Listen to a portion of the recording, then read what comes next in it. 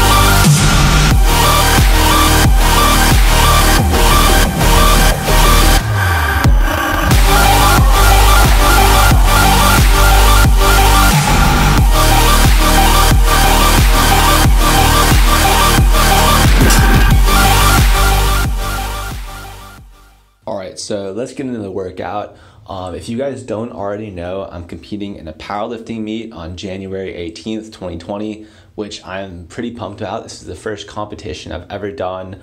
Um, I'm really getting into powerlifting. I joined my school's powerlifting club the first semester I came here, and although I still really love bodybuilding, um, I really want to focus on powerlifting um, the next few, maybe year or two. So the workout plan I'm doing now is it's a four week block and the last week is where you max out or go really heavy on your lifts. So this is the fourth block for my lower body day.